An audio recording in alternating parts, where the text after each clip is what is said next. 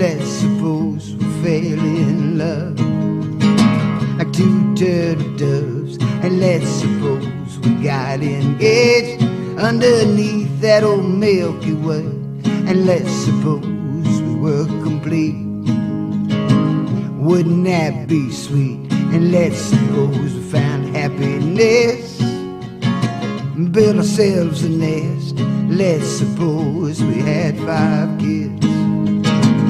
Like our grandparents did. And let's suppose our dreams came true. Just like they're supposed to do. And let's suppose we spent